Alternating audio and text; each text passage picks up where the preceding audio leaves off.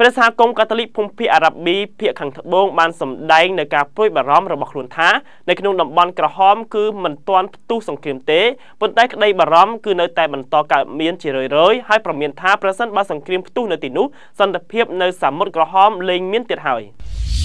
វ៉ាទីកុងញូសបានរាយការណ៍ថាស្ថានភាពប្រជាជននៅយេម៉ែនគឺមិនទាន់រងផលប៉ះពាល់ធំដុំនៅឡើយទេប៉ុន្តែវាជាការរីករាលដាលដំណើរការសន្តិភាពនៅក្នុងដំណើរព្រះស្រាំនេះនឹងផ្ទុះនិងអសន្តិសុខហើយលែងមាននៅក្នុងតំបន់សមុទ្រក្រហមលោកប៉ាឡូម៉ាទីលណេលីអភិបាលនៃព្រះសហគមន៍កាតូលិកភូមិភាគខាងត្បូងអារ៉ាប៊ីបានមានប្រសាសន៍ថាអំពើហិង្សានៅសមុទ្រក្រហមជាពិសេសគឺនៅយេម៉ែនគឺផុយស្រួយមែនទែន ខណៈដែលសង្គ្រាមនៅក្នុងប្រទេសនេះបានអូសបន្លាយអស់រយៈពេល9ឆ្នាំមកហើយ